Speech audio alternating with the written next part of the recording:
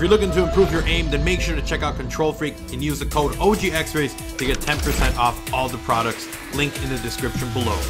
Alright guys, here we go. The Easter egg is going to be step number four. What you're going to have to do is you're going to have to wait for the gigantic Goliath drop to come down. And you're going to need this to complete the next part of the Easter egg. Let's go ahead and jump straight into it, guys. If you guys missed part number one or number two or steps one and two, make sure to check those out. Will be linked down in the description below. This was really, really easy actually. So what you want to do is you want to go to that same room that you depressurized that we talked about in step number two. And you're going to want to just basically walk up to the door, press X, and you're going to be able to go outside into the water. You won't be able to do this without the Goliath suit, so don't even bother. It won't let you do anything.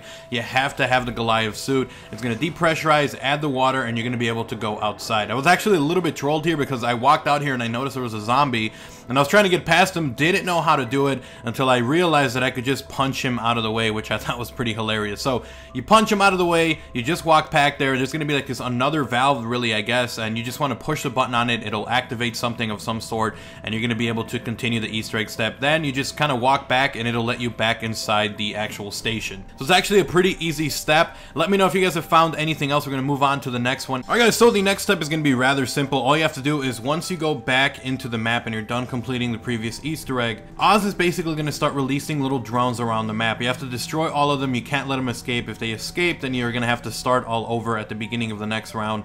Keep as many zombies alive as you can so it doesn't end the round prematurely. So make sure you run around, find these guys. You can do it with a group of people. You can do it solo. It's a little bit harder solo, so try to do it with a group of people. You just shoot them down, and that's basically it. You'll complete this part of the Easter egg, and we'll move on to the next step, which everyone is still working on. I believe there's a little bit of progress on it, but we're not really sure.